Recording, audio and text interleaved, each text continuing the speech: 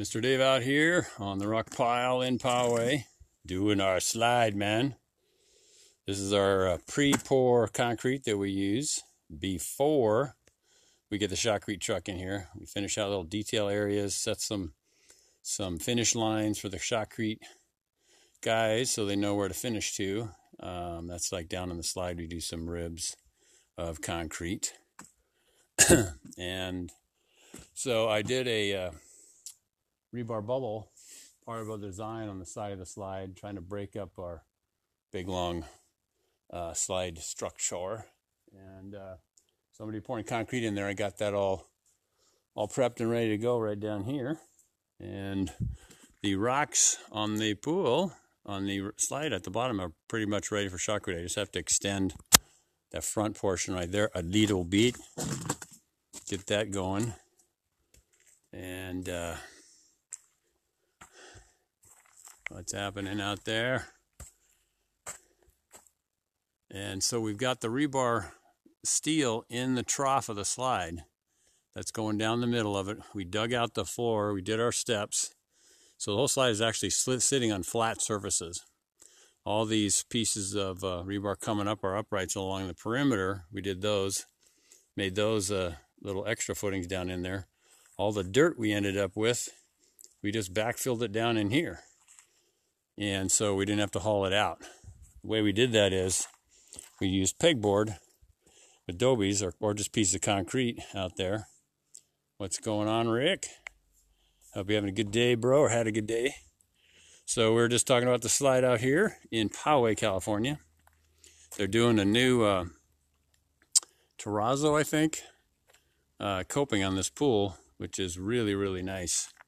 Beautiful stone. And then they're using flagstone along the edge. Now that I get my finger out of the way, really cool. It had um, it had a bullnose stone and um, I think one inch tile. Very popular approach to these things years ago. Here's uh, all the real rock uh, that they put together to make a really nice waterfall. This is uh, the original pool builders. Gardner's doing all the remodel here. Gardner Pool Plastering out here in Southern California. in any event, I get a chance to come in here, I'm going to put a slip sheet underneath the rebar so the whole slide can expand and contract separate from the pool. It's a good idea to keep those guys separate. Otherwise, they can cause a crack, and I've seen that right there where you'd expect it on the uh, slides a lot of times. Burlap on the inside. We got pegboard where we need it. This allowed for us to backfill all the extra soil and dirt that we created, cutting out our, our notches in the hill we make steps first, gives us a chance to walk around, and um, and then we dig down little stair steps all the way along the sides, and I do my five foot uprights, rebar uprights along those areas, and uh, then I bend them down in. Could probably cut them off, a lot of them, and reuse them, but I just I don't know. I like to have more more rebar than not enough. It's a it's a lot of rebar. I'm gonna put some more uh, uh, trough length rebar sticks down there to fill in those gaps. Otherwise, it's looking pretty good. So here's the rock I just, uh, I'm going to be, just threw it together. um, dug out the footing, pre-bent the rebar. I mixed up the concrete, like I said. That's going to go in this little trench here. And tomorrow or whenever we can do the burlapping. And this one will be ready for shotcrete day. um, see if I can walk up this slope without falling on my butt. Um, we've been working in the nights a little bit on occasion here to get, kind of get caught up. So probably 35, maybe 40 foot slide. I don't know, something like that. It's going to be a good little run down into the pool. And uh, so I'm just about ready to call the Shotcrete company and, and get it booked. In fact, I probably could do that now. Using the pegboard again to fill in the space around this area. We created a whole big pile over on this right side. Um, I got a bucket on the sprinkler because it wants to give me a bath in the afternoon about four o'clock. Not cool, man. So we took all this soil here and put it inside this area. And this is where the slide kicks up off the, the dirt and starts to pitch up. I want to give the, the riders a nice little nice little ride, kick, kicking them off. And the whole outsides of it, we just full rock it out. So this whole thing will be out here will be a big boulder which uh, hard to see when it's just rebar. It uh, it uh, on video maybe well yeah it's hard to tell, but it's going to be a big boulder like this that goes up to that peak. There's some planes on it, so it has a little bit more of a different facets or faces. Um, this is the stairs going into the slide. Big one. I usually do big steps, and then I'll add a little smaller one, half the distance a lot of times. So you kind of got to do your little bouldering on up to get there. This is our two inch feed pipe. I'm going to split it into two one and a half inch pieces of uh, PVC. And that's the ride going on down the side there. You won't be able to really see where you're going, which is always more exciting. So I got to finish the plumbing and then just the last of this rebar. This is a little rebar rock to kind of try and hide the slides a little bit. And uh, you'll have a little little seating area on the side. Oh, raise the camera, Dave. And uh, it'll, there'll be a piece of rebar on there. I'm waiting to fill this in so I can do my plumbing more easily. I've uh, tried to put it in after the rebar is all in, and it's quite unnecessary confusion and challenging and difficulties. So um, this these pieces are upright steel. I can uh, create a little box around them, fill them up with concrete, or I can spray uh, Rust-Oleum rust preservative. Once the structure is built, uh, those aren't really needed because there's so much rebar going all the way around this whole encased structure. So pegboard's cool. You can do a lot with it. You get that Dobie in there, and I know I'm going to get the thickness I need, that spacing. Um, between the concrete and between, you know, the rebar and, and the outer edge of the concrete. So I'm not going to be rusting out this stuff really super fast, which is, we don't want that. So I've actually done a complete, complete grottos with this pegboard. And when they're on the inside, we just pop the wires and take them off, and then we re uh, plaster the walls a little bit, try and get more characteristics, cracks coming down, angles, whatever makes it look more uh, natural, all natural and uh, so I highly recommend pegboard. So I like to like to build stuff pre I like to pre pour stuff before shotcrete day, just because. Um, so I can climb over this with my boots and I kill myself. Whoa! All right. Um, because I found in the past when I had to do, hey Matthew, what's shaking?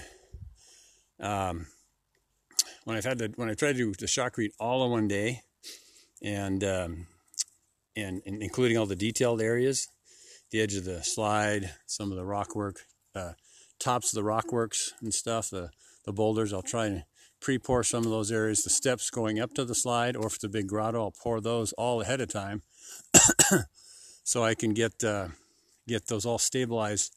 So when they do the shotcrete, they can climb up the structure with a, a good stable footing, and uh, and I try to make sure I do make sure that those places I pour are already like the finished thickness. So I definitely have that. Uh, um,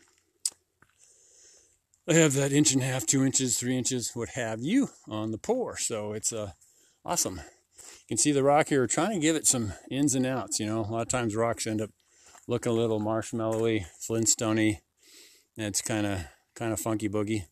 So trying to offset things. You want you want uh, asymmetrical symmetry, if that makes any sense. A balanced composition with your stones your rock work. Let's walk over here and check the check out the uh, rocks. The, these are all real rocks. These are definitely big time backhoes and cranes where they set these in. They had to pre-pour this whole area with, uh, I imagine, at least a foot fully steeled to take the weight of these bad boys. These things are huge. These are many, many thousands of pounds of, of um, real rocks. They're they're beautiful though. They're all dusty right now, but you can see when you look at them, they just have all that rich, rich color. you know, on the size of your hand, you have like the whole a whole spectrum of colors, and this these are pretty uh, varied, but it can get even crazier. Um, there's a there's a pond, uh, about pond. There's a moat around the spa and the waterfall comes down and comes off the edge of these more flat rocks. So they did a good job. So whenever you're doing real rocks, you got to support them. If you're putting them on the edge of the pool, like we have down here, if I can hold the camera and talk, they need to have a full, full supported, engineered structure underneath there with rebar. Otherwise, this guy could actually cause a failure of the bond, I think, a little bit. But engineers know more about that. So you can see they've got a step there for those stones down there.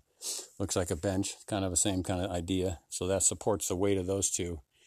And uh, probably with that support there, that takes care of this bad boy too. But uh, very, uh, very nice job. It's dammed up right here, these two corners by more stones, so that drops into the swimming pool as well when it's running. So they did a great job with these real rocks. Just doing a little departure on the on the waterfall there, which I think did they did a great job. Again, at the end of the slide, I'm going to put a slip sheet there. Oh, trying to fall in the pool.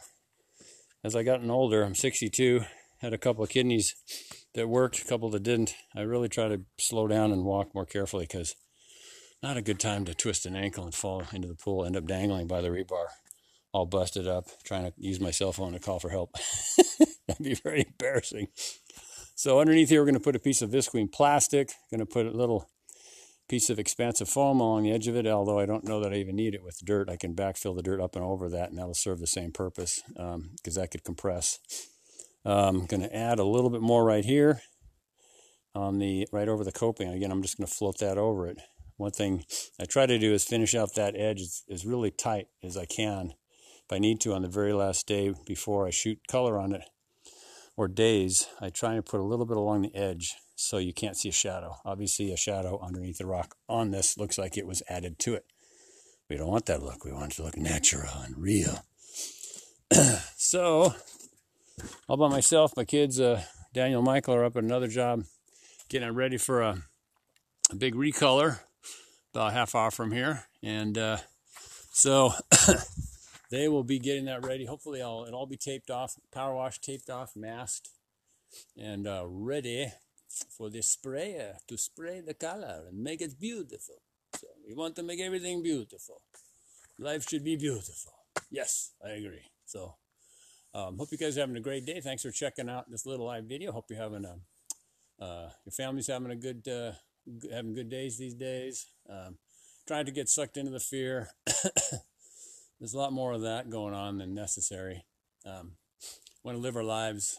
Um, be smart, but don't be shivering and shaking in, in your house, uh, afraid to go outside. If you're outside walking around, by the way, you don't need a mask, man. If you're riding your car by yourself, I don't know why you'd have a mask on then. Um, there are some studies that show masks hardly do anything. But in any event, if it makes you feel comfortable, wear your mask. Um, and uh, so, yeah, um, try and be thankful for giving of others who didn't vote the way you wanted to. I like to add to my videos these days. Um, we're in this together, as it were, and we don't want to get ripped apart by uh, maybe forces that are bigger than us that are trying to do that. Um, just my opinion. Um, we all bleed. We all bleed red, and uh, we want to try and care for one another. Be patient. Be kind to yourself and others. So anyway, uh, my little spiel. If you want to learn how we do this, I've got a lot of free stuff out there. PDF downloads you can you can get at davehenderson.podia.com. My first name Dave Henderson, last name podia.podia.com. davehenderson.podia.com. If this is coming through as far as the sound goes, I don't know where the I don't know where the speaker is or the microphone is on this camera. Anyway, um, free PDF downloads. Got some courses there you could check out. Uh, my re- most recent one is uh, pretty much the whole enchilada, over five hours of of uh, videos in uh, eight sessions, ten videos. Um, really tried to put everything in there. There's 79 pages in total of PDF downloads. You can um, download those and, and follow along on each course. Everything from how to bid a job, how to come up with your supplies, materials, how to price out a job. If you're wanting to run a business, do do business this stuff this way. And uh, I don't know if I put marketing in there too. I probably a little bit. Anyway, um, you can grab that if you want. Learn everything I pretty much know, and uh, and then uh, on my uh, my blogs and links are at uh, daverhenderson.com, www.daverhenderson.com. And um, hyperventilating here and running out of air. So I should shut up. So anyway, thanks for checking us out, guys out there. Have a great day. be kind to one another, be kind to yourself, and uh, and smile. Play your damn mask off and smile. All right, whenever you can, as much as possible. so, uh, thanks for checking it out. Hope you have a great day. God bless you all, and uh, we'll see you next time. Dave Henderson on the Rock Pile. Talk to you soon.